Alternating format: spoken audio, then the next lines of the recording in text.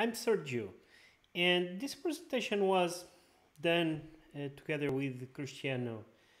Unfortunately, we couldn't be part of Agile uh, Testing Days USA as I got COVID and, well, Cristiano was in, a, in another conference at the same time. But nevertheless, I decided to record this and share this talk with you. I hope you enjoy it.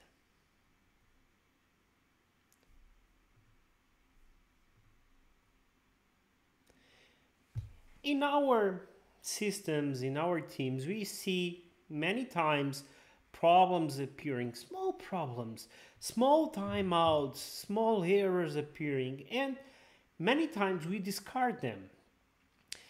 And suddenly, uh, as soon as our application starts getting more and more use, those problems can suddenly become huge, huge problems that are really hard to handle. So ignoring these problems at the start can lead us to great problems at hand. Another problem that also happens is uh, related with features. We suddenly see ourselves adding more and more features on top of our existing ones. And we know that probably we have some technical debt and some things we need to handle and to improve in our products, but still we are pressured to add more and more features and all these wires together then can really become really a bottleneck in the future for us to do anything uh, value on top of them.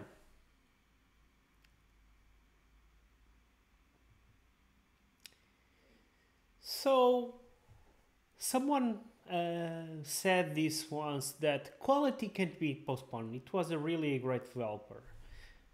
Well, probably you know him, Abraham Lincoln, developer of countries, developer of the United States.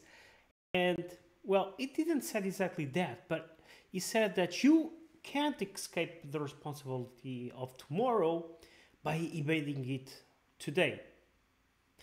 In other words, we need to tackle things right now. We cannot postpone them because otherwise they can get great negative impacts in the future and namely in the future of our products. So we need really to embrace challenges.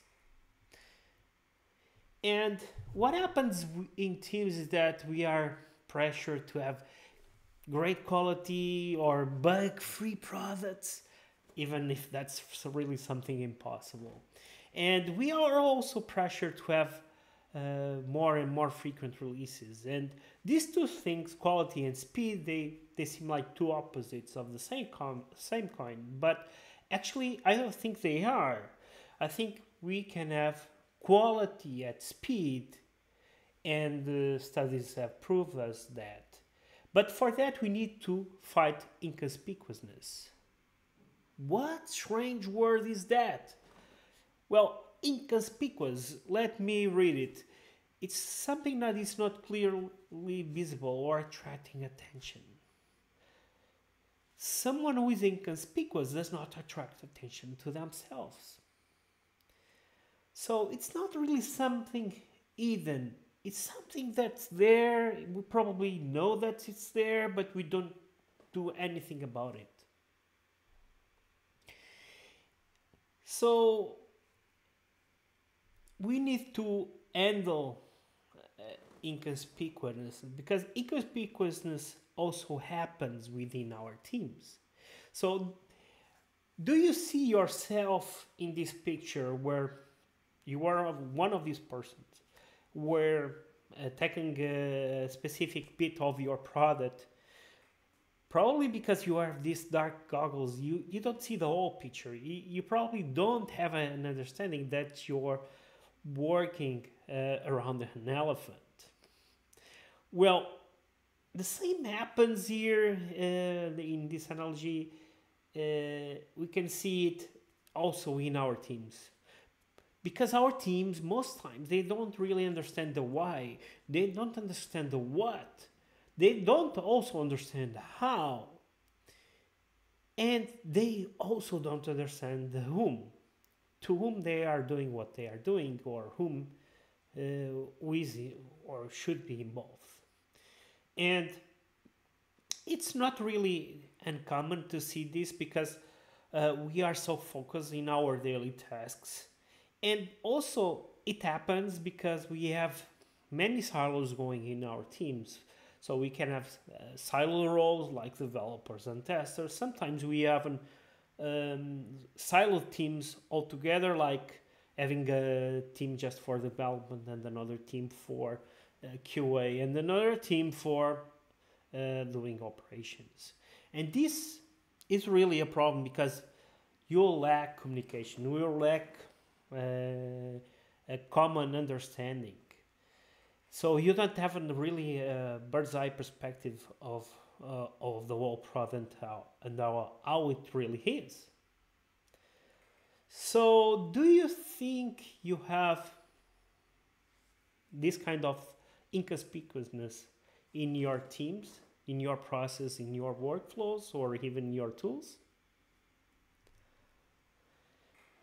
Well, probably you'll have because every single of uh, us has this kind of challenges, and we need to realize that we do have uh, this this blind spot. So, but many times we don't realize it all together.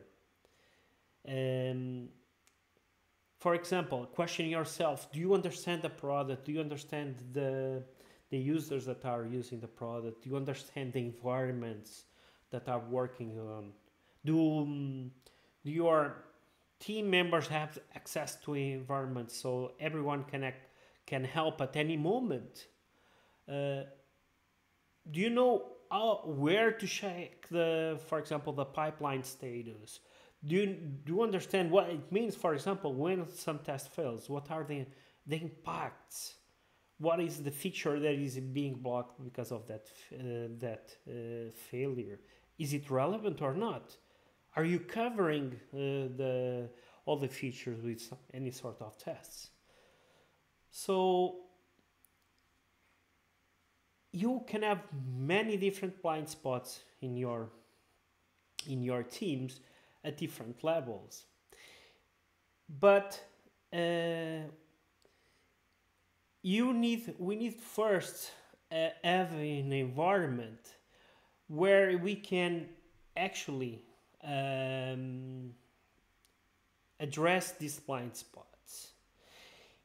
I'll come back to that in a second, but before I go there, I think that some some of us have this um, approach uh, where we simply uh, say that okay we need to in order to have this better understanding to have this better collaboration okay what we do is that all people working together having tons of data uh, have tons of information uh, people being focused on their tasks people getting notified whenever something happens, have these spikes for doing investigations or having plenty of tests.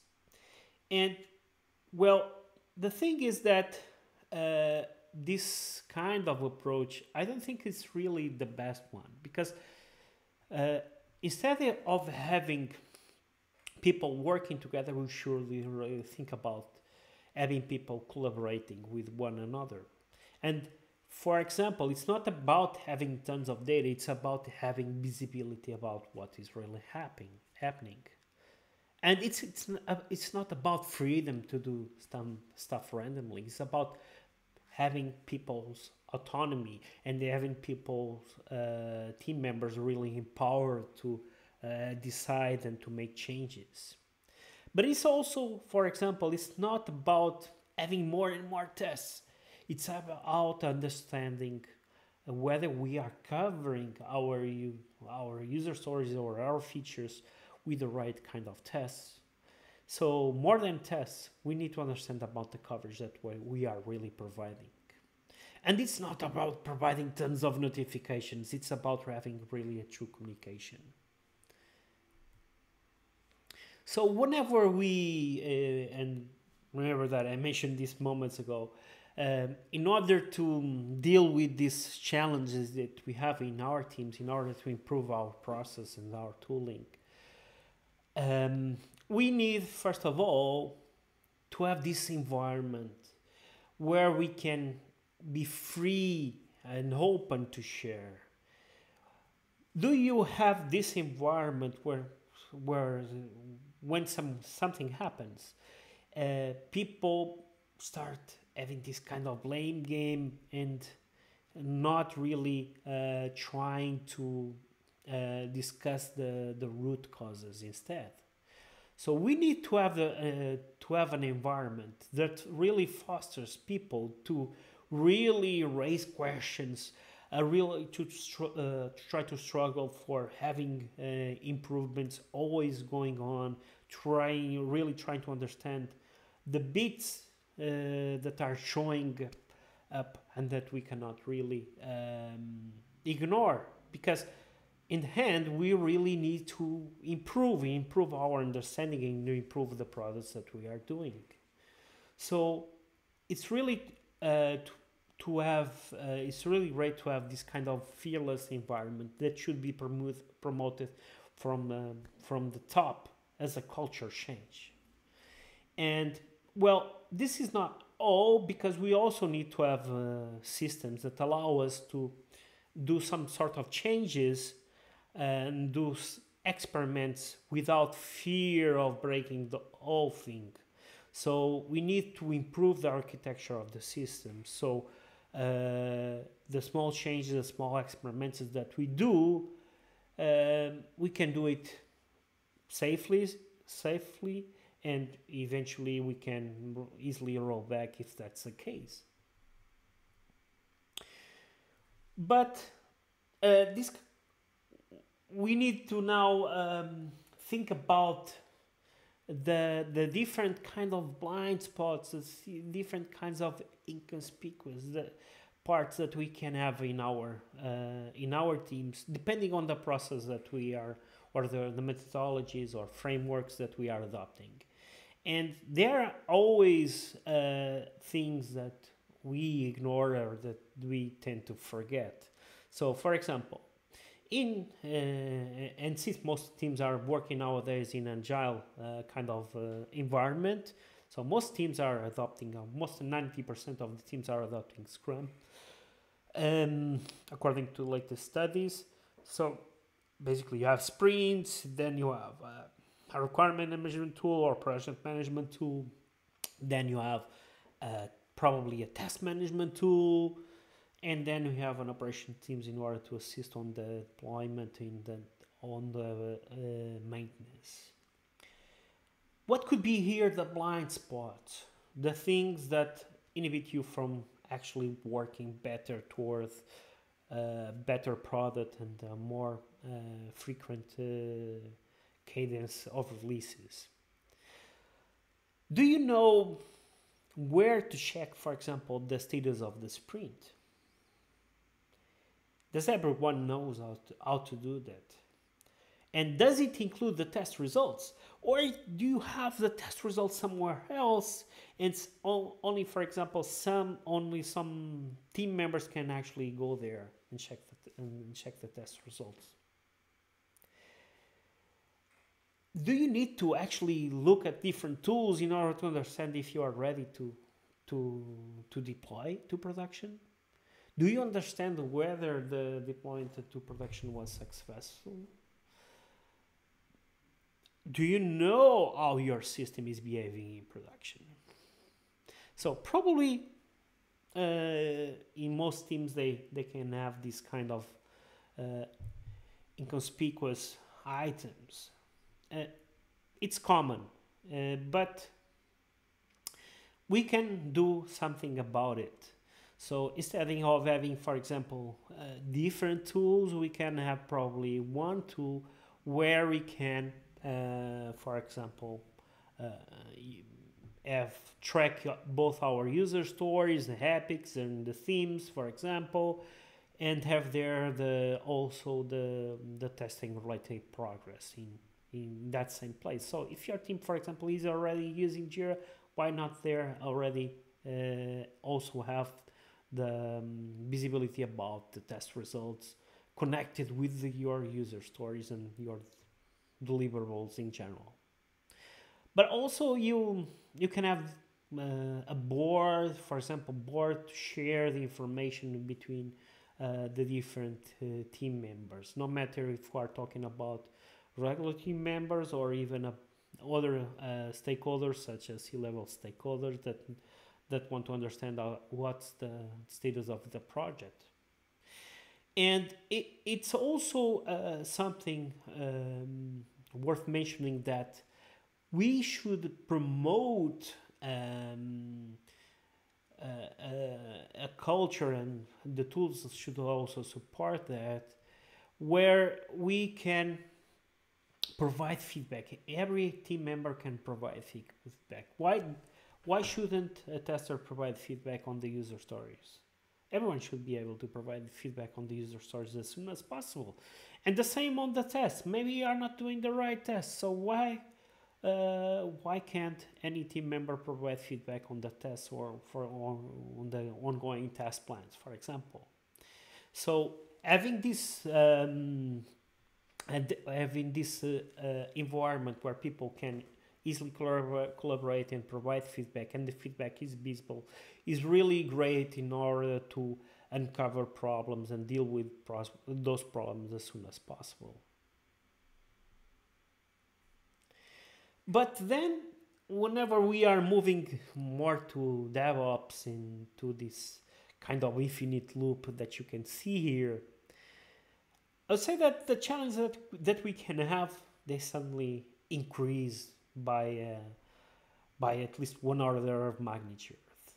Because you start suddenly having this uh, pipeline concept uh, with um, with continuous integration, continuous delivery, continuous deployment, um, uh, all sorts of tests uh, going on, uh, and uh, even observability. Eventually, you can uh, can also be adopting it in order to track what is happening in production.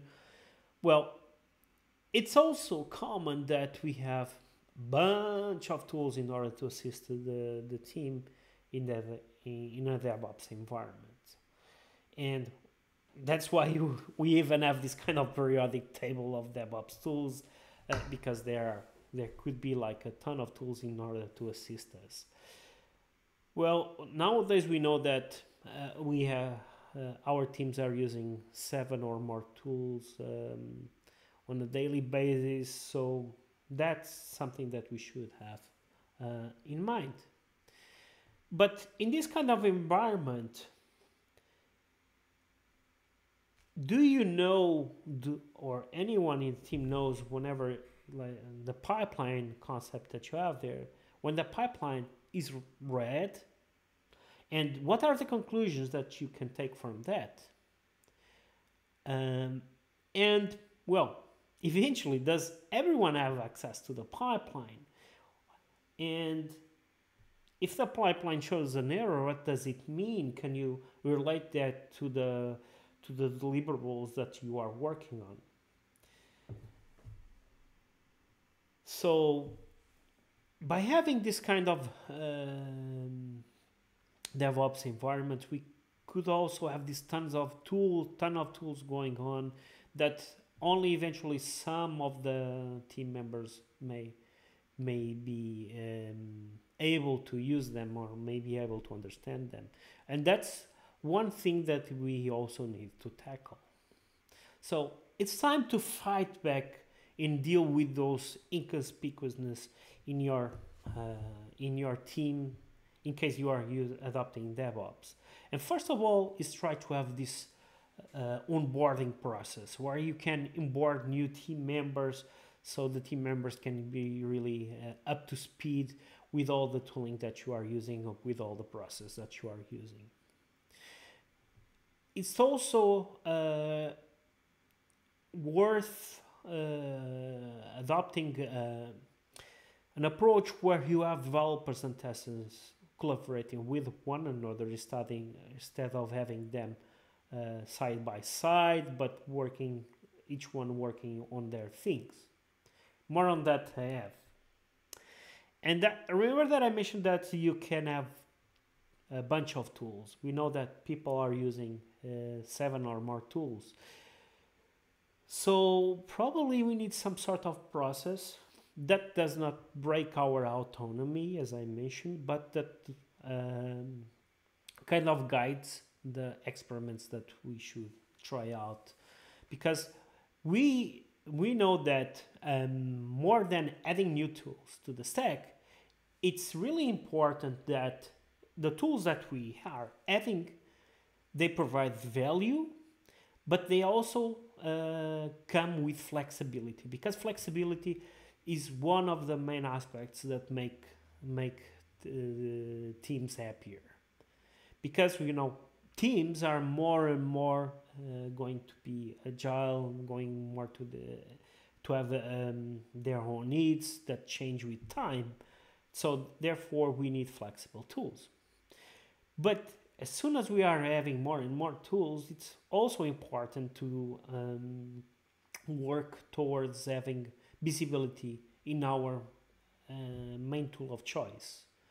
So we can have one better understanding of what we, what is happening, and then eventually dig into the uh, another tool to dig into the details. And another uh, thing that is really really important that many teams have been um, working on this for for quite a long time is documentation, or at least they have been fighting um, the documentation topic. Uh, and well, the, the recent Dora research report shows that documentation is really crucial because it can make our teams more efficient. Because the if if we have an up to date documentation, people feel more empowered and uh, to contribute sooner uh, to the projects. So recapping, we need to realize that we have blind spots. It's common that we have these uh, blind spots that we are not paying enough attention and that are somehow uh, inhibiting us from doing better, or working better as a team. But in order to deal uh, with a challenge, we need to have this kind of safe environment where people can question stuff, where people can raise questions, but also where uh, people uh, can be um, fearless to try experiments without breaking the system. So we also need to have resilient systems and uh, systems that provide uh, a, certain level of stability. It's also um, important that people understand the the ultimate goal and uh, and share the results while they work towards that goal. Not tools are not, let's say, uh, specific to one person or to a group of persons. We need to assume that tools can be used by uh, all the team members because whenever a problem occurs, uh, we need to be able to solve it quickly. We cannot be dependent on uh, a specific user for any reason whatsoever. And whenever we are doing experiments and experiments and considering new tools, we should uh, consider whether that tool is really bringing value, the kind of value that it's bringing, and how well it integrates with the existing ecosystem, and whether it's flexible enough because probably we have new requirements for that tool um, anytime soon. So we need to work towards having more and more visibility to expose what is happening in our systems in our process and by having that visibility that will uh, allow us to uh, have more and more collaboration going on collaboration also uh, increases visibility. They have this kind of uh, close relation. It's really, really important that we work uh, towards uh, making the inconspicuous conspicuous so we can handle the, uh, the problems as soon as possible.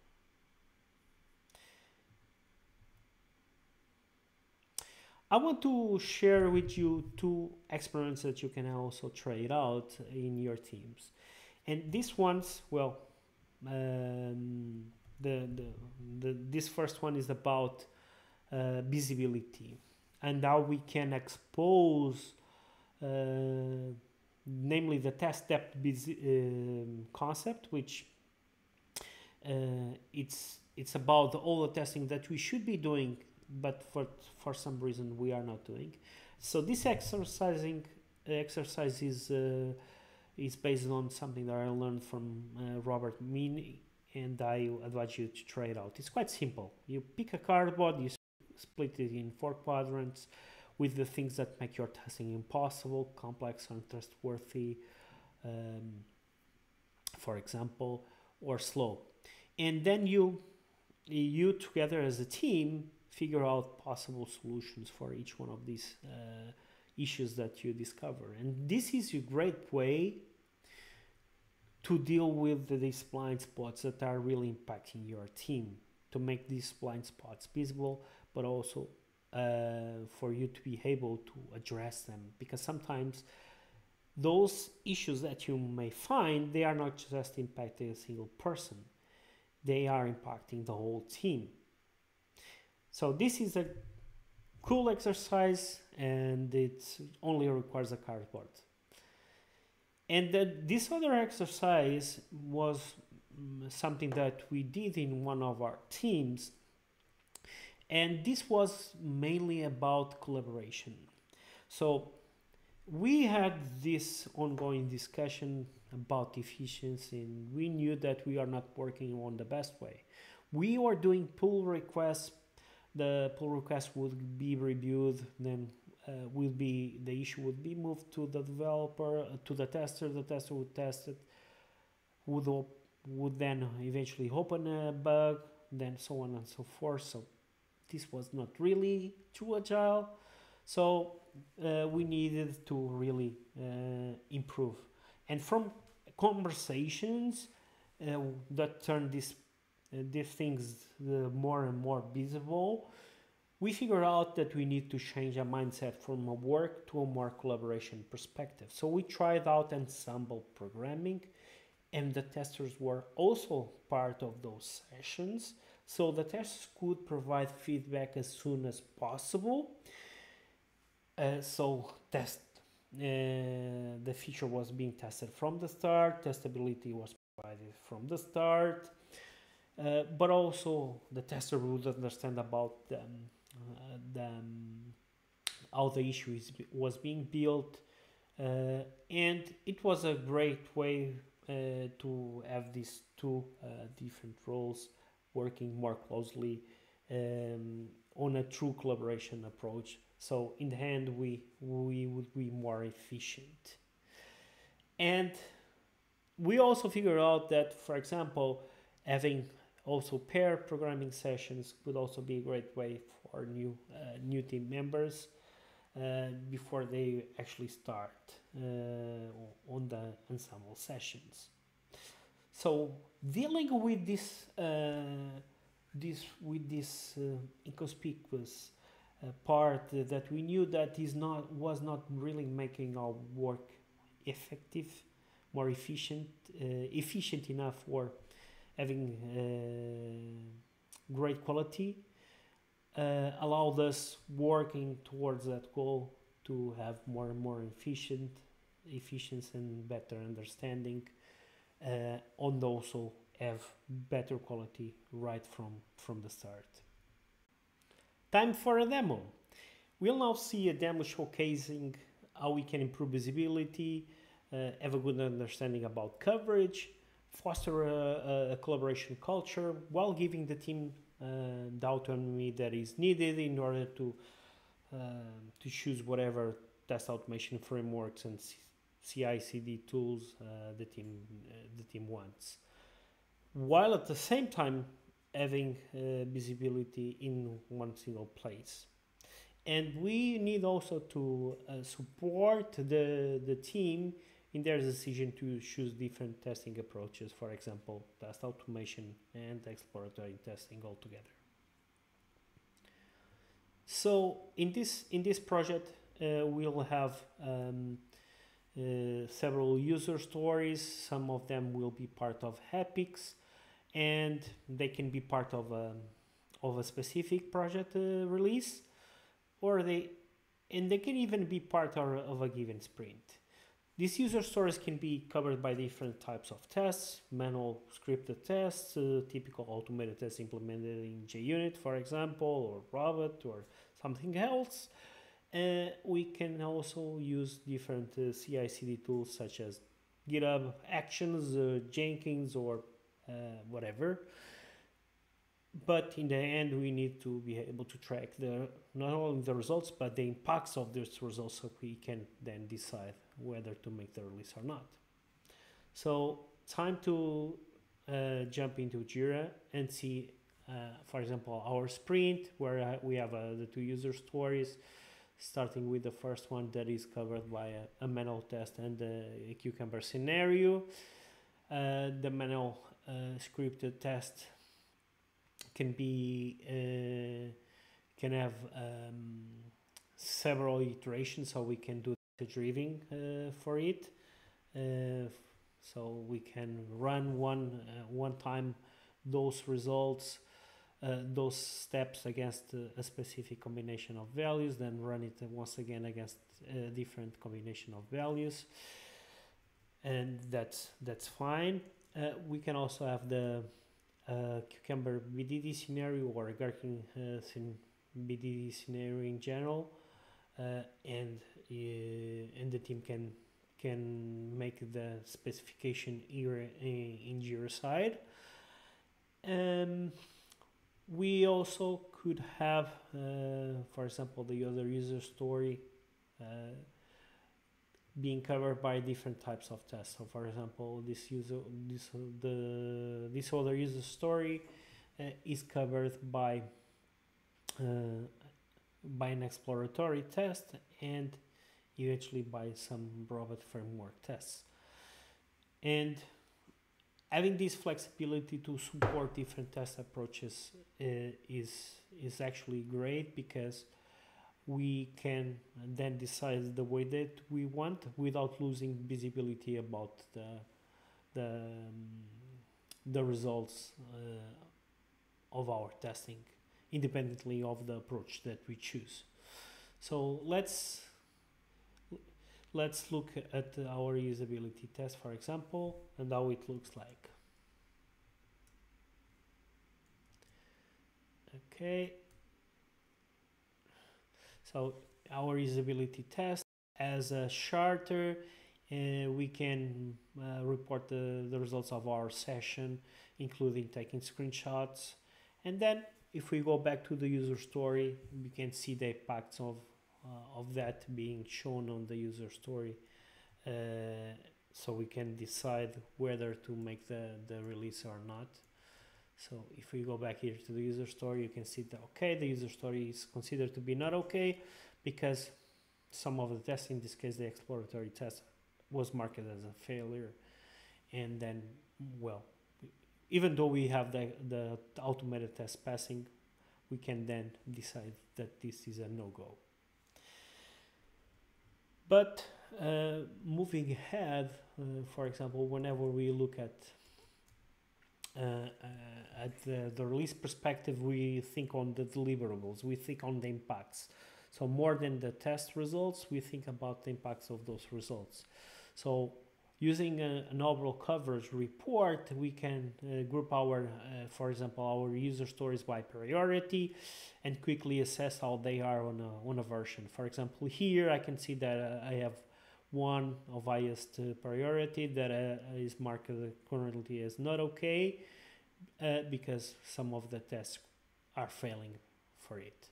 So this is a great way for me to group the the the, the requirements or the user stories or the epics by different criteria and then um, take a decision whether to make the release or not based on on the, the results on the heuristic for coverage that I can see here on Jira size uh, side using by using Xray.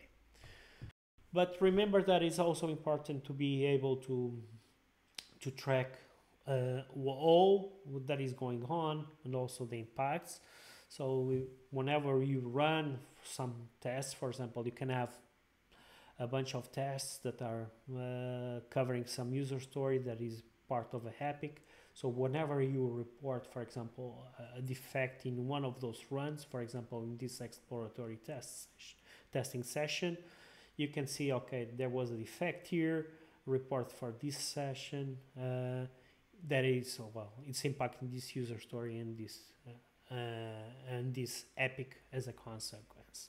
Then, well, it's up to me to decide whether, uh, uh, how to manage this and uh, whether or not I should be able to release the, the feature even though I have this problem problem reported.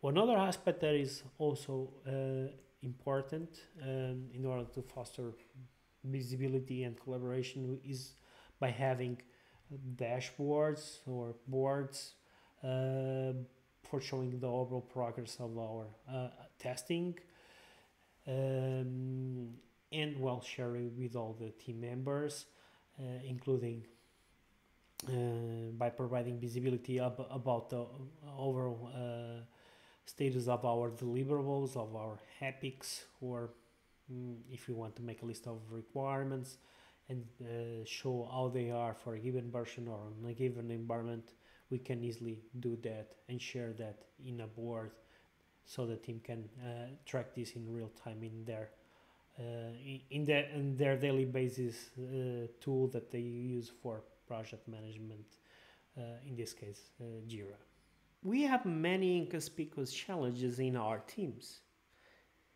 And all this inconspicuousness affect the quality and the value and the speed that we provide value.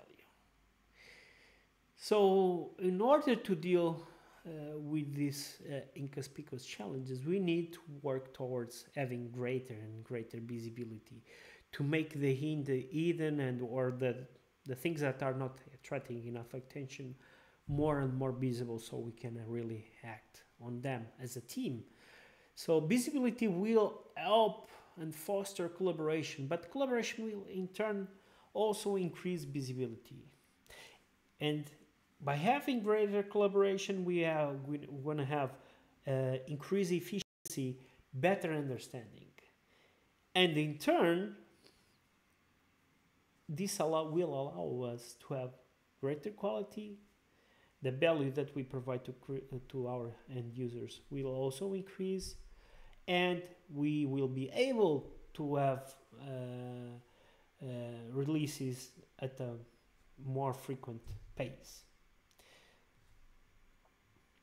But one thing is that that is also worth mentioning is that we can work towards having this visibility and collaboration through more uh, enhancement of our own process but tools can also uh, help us on this on this matter because tools can also provide us visibility about what is happening in a single place in a uh, single source of truth. Um, tools can also foster uh, a more collaboration approach. So if you have more and more silos of uh, uh, tools that don't connect with one another, they will promote separation of uh, information, which will harden the work, uh, the collaboration work that you need in order to deal with, with inconspicuousness. My name is Sergio Freire. you can find me on my uh, site, sergiofreire.com and, and also on LinkedIn and Twitter using the Dark Telecom handle. I'm passionate about software development, technology, testing, exploratory testing, test automation. Well, uh, always about providing value to end users through the art of better crafting software.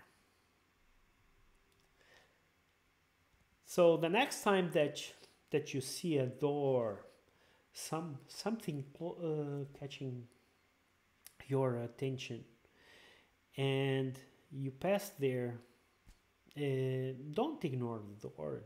Don't be afraid of opening the door, because the door may may hide a challenge, but the sooner that you uh, deal with that challenge together as a team, the sooner you'll be able to move forward and to work on additional uh, features for your uh, for your product and for your end users.